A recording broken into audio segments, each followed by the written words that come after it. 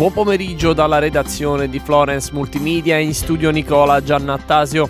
In A1 in direzione Bologna code per traffico intenso tra Firenze Nord e la variante di Valico. Sulla Fipili per lavori 2 km di coda in direzione mare tra la Strassegna e Ginestra Fiorentina, 1 km in direzione Firenze tra Empoli Est e Ginestra. Ricordiamo che si tratta di lavori per il miglioramento della sicurezza con restringimenti, percorsi alternativi sulla provinciale 12 o per viaggi più lunghi sulla 11. Tutte le info sui nostri canali social. Sul raccordo Siena-Firenze scambio di carreggiata e restringimento di carreggiata tra San Casciano e l'allacciamento per la 1 di Firenze in Pruneta.